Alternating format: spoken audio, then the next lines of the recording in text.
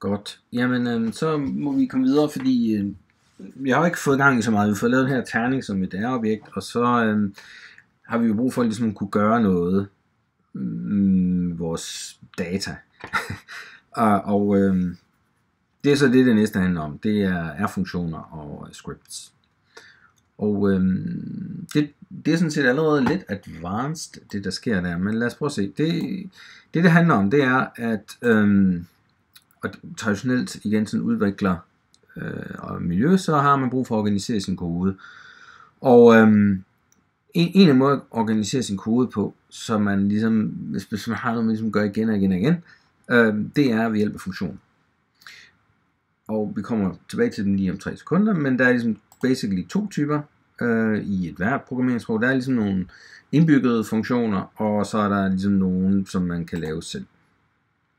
Og af de indbyggede funktioner, det er så ligesom dem, som øh, han går i gang med øh, i bogen. Så lad os, hvis vi hopper over til bogen, så kan man se, at han går i gang.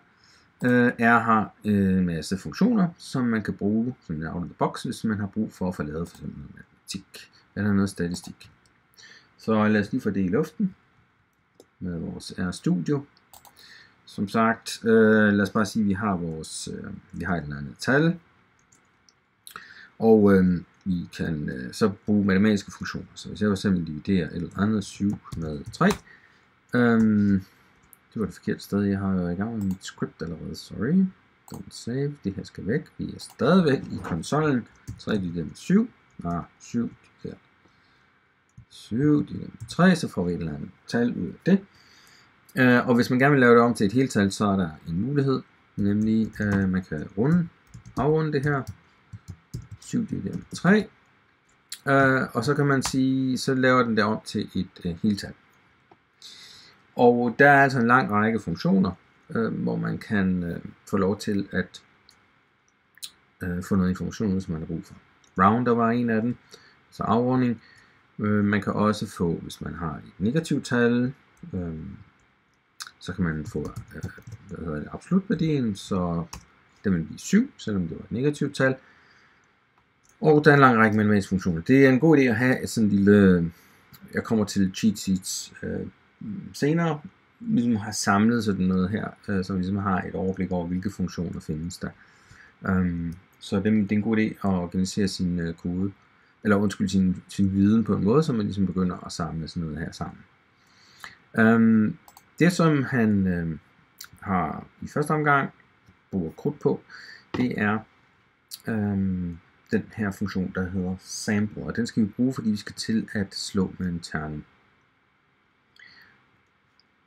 Godt, så hvis vi tager vores øh, terning igen, og gemmer den her i til 6 med øh, 6 sider, så øh, kunne vi godt tænke os på en eller anden måde, det svarer lidt til, altså det at rulle med en terning, det svarer til, at du skal give mig øh, et eller andet tilfældigt, men uniformfordelt udfald af de her øh, seks øh, tilfælde. Det er sådan en terning, der gerne skulle fungere. Og det, som vi skal nå frem imod, det er, at vi skal lave en vægtet terning. Det vil sige, at øh, terningen skulle helst lave en fordeling, hvor, hvor, hvor der er en lidt skæv sandsynlighed for at slå noget bestemt.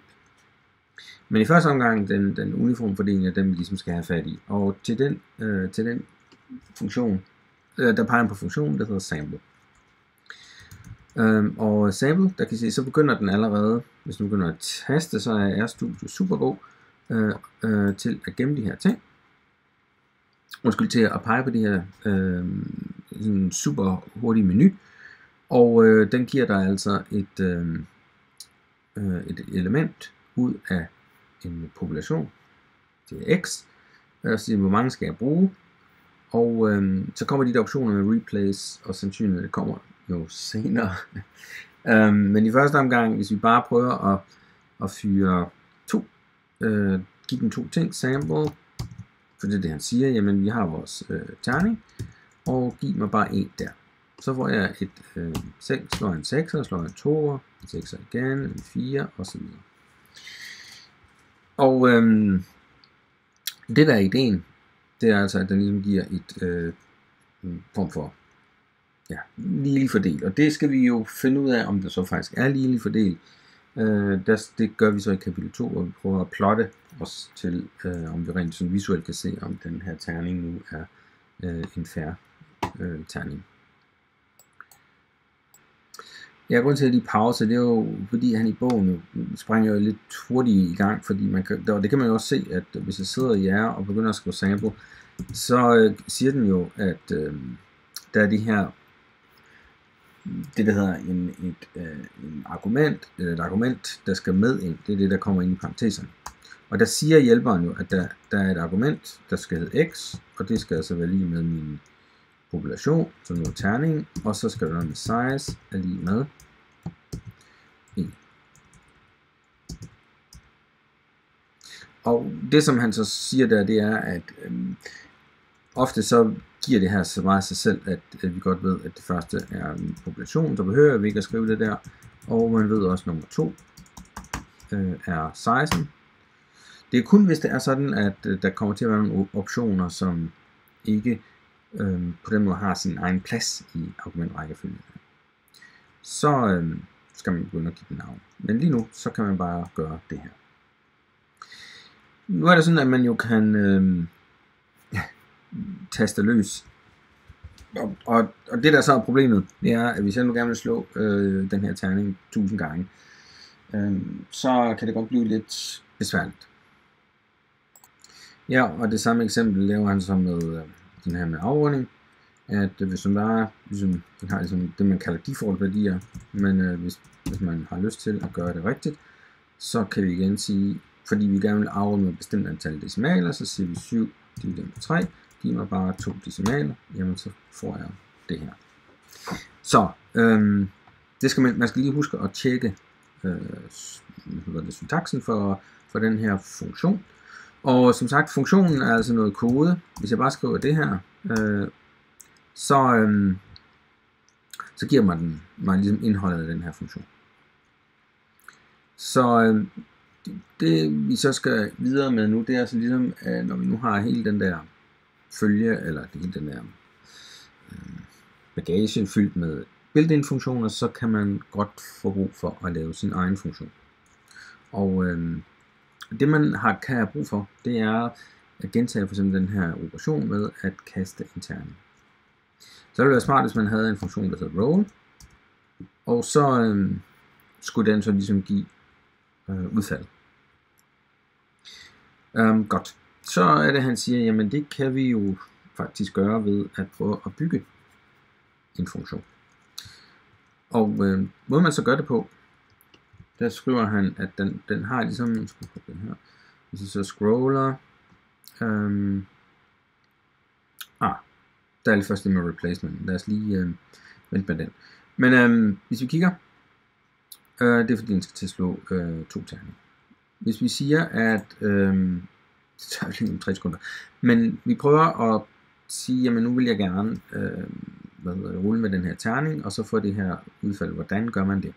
Så siger han, den første, basic, og det, den her den er vigtig at huske, det er den her grundkonstruktion, vi har gang i her. Så lad os nu prøve at putte den ind.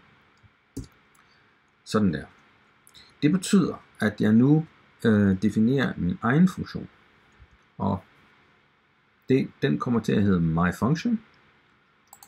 Og den her tilfælde skal den hedde roll. Og så er der et eller andet indmad, hvor den gør et eller andet. Øhm, og det er så det, den intelligens, vi så skal lave øh, for at få lavet vores egen funktion. Men det, der sker, når vi har den, det er nemlig, at den er tilgængelig herovre i, øh, i vores øh, environment herover. Det vil sige, at man kan kalde den, fordi så kan man faktisk begynde at kalde den roll. Øh, nu sker der så ingenting, fordi jeg ikke har puttet noget ind i den. Men det er det, der er øh, fidusen. Jeg kan begynde at putte funktioner ind i min, øh, i min øh, environment herovre. Godt. Nu det kan være lidt besværligt at skrive funktioner nede i konsollen, og nu derfor vil så introducere jeg så øh, et nyt vindue, som dukker op i det øjeblik, at jeg bygger mit eget script. Fordi konsollen hernede er sådan lidt øh, linjeorienteret, og øh, det kan godt blive besværligt at begynde at skrive øh, indholdet af sådan en øh, funktion hernede. Så skal man ligesom bare fortsætte hernede. Der er en funktion, for eksempel, hedder print, og sådan en indbygget en. Hej, Mm, kort. Så hedder den øh, det, og så kan jeg skrive, når skal roll, uh, sorry, roll, og så skal man huske de to der. Kan I se, hvis man, hvis man gør det uden, så, fortæller, så giver den mig indholdet, altså den kode, der gemmer sig i funktionen. Hvis man øh, giver den de der parenteser, så hvis man kalder funktionen, så går den ind og udfører det, der står hernede. Nå, men det der er lidt smart, øh, det er, hvis man skal til at skrive flere linjer kode, øh, så går man op, og så laver man faktisk et lille script, som rummer den her funktionalitet, som jeg er i gang med at programmere, men jeg kan lave nye linjer. Sådan. Print. Hej den. Måden det så fungerer på, det er, at jeg sætter min cursor herop, og så kan jeg klikke på Run, og så har den øh, kørt, eksekveret den alt herfra og derned til, og gemmer i den her variabel. Godt, så nu skal jeg altså have lavet den her roll funktion, og det som han øh, siger, jamen lad os prøve at putte det her sample værk. Så sample, og det var, at jeg kunne øh, putte en øh, funktion, at jeg kunne, jeg putte en terning herind, og så kunne jeg sige, giv mig nu øh, en enkelt her. Og hvis jeg nu bare eksekverer det her, så øh, siger ja, det er sikkert fint nok, og hvis jeg så kalder min kode hernede i funktionen, eller nede i konsollen, så øh, giver den mig øh, resultatet her. Det, der er god stil, det er fordi, at øh, den returnerer altid det sidste, der er lavet her. Det er, er en lille smule anderledes. Så hvis jeg nu skriver print øh, kort hernede, øh, og kører min funktion, og kører den igen, roll, så returnerer den det sidste her. Det er altid den sidste statement. Derfor, hmm, når man skriver funktioner i R, så husk altid at slutte af med return. Det er god stil. Den resonerer automatisk det sidste, men prøv at gøre det alligevel. Brug den her funktion, der hedder return. Den returnerer det, som er nu kommet ud af mit, øh, den her linje. Der, det skal jeg nemlig gemme i en variabel, som kunne være value. Du er det, der kommer ud af den her. Så nu det her kort værk væk, og så siger vi return det her objekt, value. Sådan. Så nu når jeg så roller, ups, roller, så begynder den at give mig de her. Så det er jo vældig mm, smart til, til at starte med. Uh, det er vigtigt, uh, igen, terminologien, han siger, er tilbage her i PowerPoint, han siger, at den har tre dele, navn, uh, og den har jeg så kaldt role, så siger han, der er uh, body of code, det er det, der er hernede, de der to linjer, uh, og så er der et sæt argumenter. Indtil videre har jeg ikke puttet nogen argumenter med. Et argument betyder, at man har et eller andet, som man gerne vil have processeret øh, nede i den her funktion. Så øh, uden at komme ind på det med variable scopes, så øh, det der er muligt, det er, at man kan sende en terning med. Um, den, den fandtes jo herover, øh, og det betyder, at når jeg refererer til den hernede, så går den ud og kigger herover og siger, oh, du er jo her. Men hvis jeg nu for eksempel, og det er også det, han gør i bogen, siger ikke dig, men jeg siger, vi kan kalde den Kurt. Øhm, jeg har lavet, tror jeg, en terning, der hedder Kurt. Det bruger jeg altså ikke over siden, det er sikkert fint, da jeg sampler et eller andet, der hedder Kurt her. Whatever, men hvis jeg så siger roll, så siger den, nu, jamen Kurt er der jo ikke. Godt. Så kan man gøre det, at øh, man laver sin terning, øh, Kurt, og den kan man så gøre sådan her med, ligesom med dig. Og så sender man så Kurt med som argument. Man kan igen sige, det var da lidt pudsigt, hvorfor hvorfor, hvorfor egentlig gøre det her? Fordi jeg behøver bare at nøjes med at gøre det der. Og det er øhm, sådan set en fin nok overvejelse, så længe vi øh, har så overskueligt et miljø, som vi har her.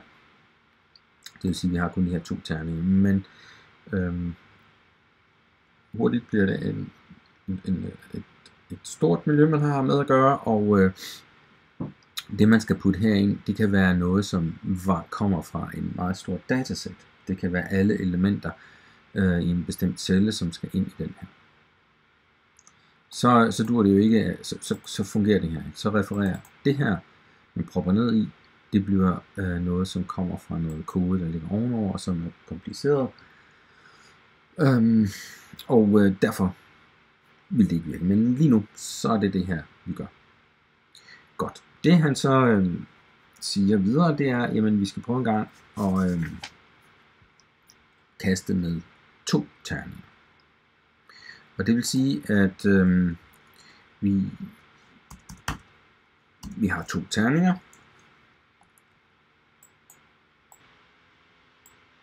Ja, godt. Fordi det, han, øh, det vi mangler som det sidste for at få den til at kaste med to terninger, det er øh, den der sample-funktion.